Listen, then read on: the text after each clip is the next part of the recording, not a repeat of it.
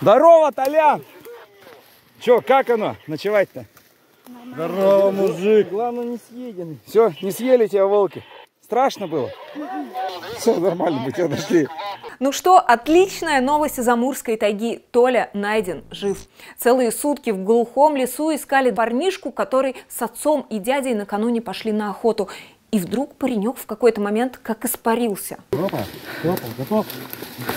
Пошли. Папа с дядей сначала сами пытались, потом позвонили в МЧС, подключились добровольцы, вертолет, собаки и даже частный маленький самолет. Как расческой шерстили тайгу. А парень не отзывался. Оказалось, он вообще не струсил. Сначала посидел, потом начал искать воду, а потом уснул. Едут наши герои.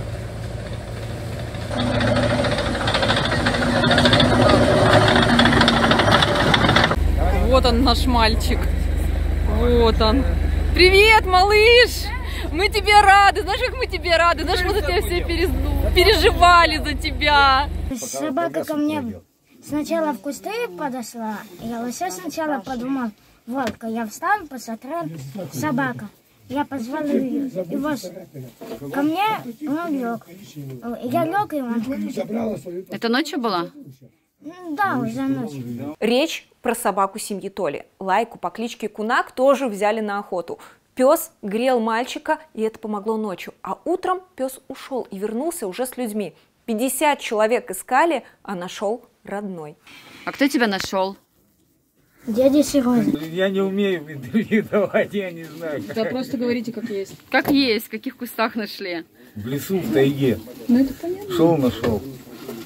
Я кричал, он ответил. Какой скромный дядя. Оказалось, кстати, буквально в 700 метрах от места, где нашли парня, была медвежья берлога, и следы были. Дядя ходил с одной группой поисковиков, папа с другой. И нет, конечно, ничего трогательней, чем встреча сына и отца.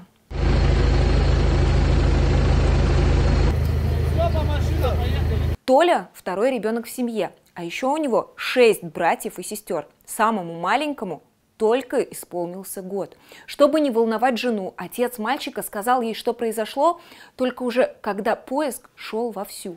Вы рады? Да, конечно. Все хорошо закончилось. Все. Воссоединение семьи. Ребенок здоров, стертые ноги не в счет. Еще в лесу спасатели напоили его сладким чаем, накормили пряниками. Так что, когда Толю привезли домой, он даже есть не стал. Сразу лег спать.